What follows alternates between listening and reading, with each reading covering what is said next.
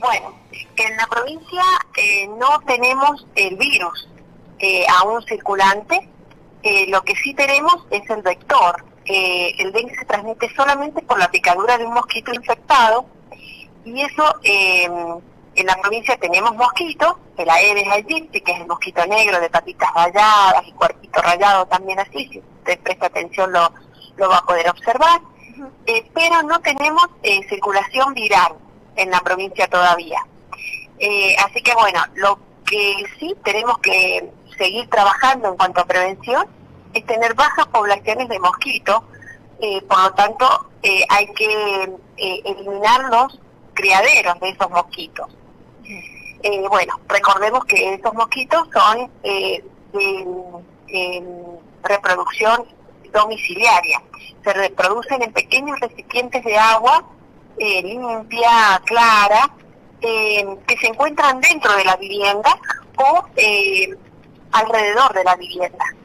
es a diferencia de otras especies de mosquitos que se dan más en las acequias, en los ríos, en, lagunas. ¿sí? Este no, este mosquito se da dentro de la vivienda. Entonces, bueno, la, prevención tiene que ver con eh, los recipientes, con los cuerpos de agua que hay dentro o fuera de la vivienda y que permanecen estancos durante un tiempo, ¿no? Una semana aproximadamente. Eh, pongo un ejemplo del recipiente de los, el bebedero de los animales, donde a lo mejor hay vamos reponiendo agua permanentemente, bueno, cada 24 o 48 horas hay que cepillarlo porque el mosquito coloca los huevos en la eh, superficie entre eh, el límite, digamos, del agua y la superficie del recipiente, ahí coloca los huevos que se adhieren a la superficie del recipiente. Entonces hay que cepillar eso eh, cada 24 o 48 horas, cada vez que le cambiamos el agua, para que de esa manera no se reproduzcan eh, los eh, mosquitos. Bien, bien. Doctora, y con respecto a las piletas que hoy hay, porque bueno, justamente las temperaturas también están siendo propicias para esto. Exactamente, bueno, eh, con respecto a las piletas, por un lado, si el agua está en movimiento, el mosquito no va a elegir ese lugar para, para colocar sus huevos, porque sabe que se van a romper al estar el agua en, movimiento. ¿sí? Entonces, mientras esté en uso la pileta, no hay problema con respecto al mosquito eh, a la Aedes. El problema surge con eh, cuando nos vamos de vacaciones y dejamos la pileta eh, dos semanas a lo mejor con eh, el agua estancada, ¿no? Em, entonces, bueno, en ese caso también hay que considerar que las larvas son fotofóbicas, es decir, tampoco va a ser un lugar de elección para el mosquito porque el rayo del sol permanentemente sobre la pileta eh, evita que se eh, que también em, eh, evolucionen las larvas. Por lo tanto, hay que tener cuidado con las piletas que quedan a la sombra y eso pasa por ahí con más las pelopinchas, esas piletitas pequeñas de los de los niños que se arman bajo un árbol o en, en la galería y entonces están los resguardo del sol. Esas son las piletitas que pasado una semana eh, pueden ser los criaderos de mosquitos, esas piletas más pequeñas. Bien, bien, bien. Eh, ¿Y cómo, cómo se analiza la situación de estas altas temperaturas y la humedad constante en el ambiente? ¿Puede ser propicio también para la generación de más mosquitos?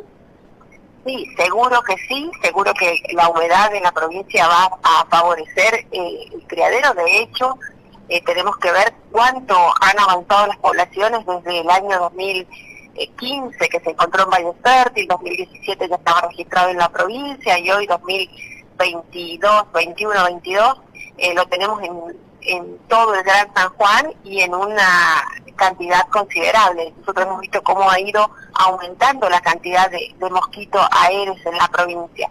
Pero bueno, como usted dice, también está relacionado con nuestro cambio climático, de repente tenemos eh, más humedades, y pero también seguramente el mosquito ha mutado de forma de adaptarse a estas temperaturas y a este tipo de clima que tenemos en San Juan, ¿no? Eso también hay que darle un poco de crédito al, al mosquito, ¿no? Que, que logra adaptarse a esta a este clima. Bien. ¿Y eh, se realiza algún tipo de, control en los municipios? Eh, ¿Se está trabajando en esto? Eh, sí, bueno, los controles eh, se están realizando eh, a través de sensores de ovipostura en algunos departamentos. Esto es para controlar justamente esto que estoy comentando de la población de los mosquitos. y se realiza prevención. la prevención tiene que ver con la educación y, y estas medidas de de esta difusión de las medidas preventivas ¿no? que estamos eh, realizando. Nada más, es eliminar el criadero, que se llama eh, infección ocular y tratamiento focal de leche. Es decir, si veo, si veo un recipiente, lo tengo que eh, dar vuelta o fetichar o eliminar esos, esos potenciales criaderos. De eso se trata el, las acciones preventivas. Las estamos realizando en la en las pues, viviendas a las cuales asistimos. Eh, seguimos trabajando con Chagas y por eso asistimos a algunas viviendas acá de la zona urbana y se hace simultáneamente eh, este control focal también de, de mosquito.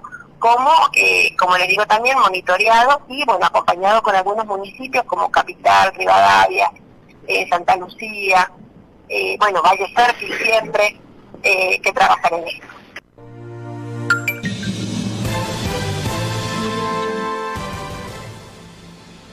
Tema muy importante, entonces.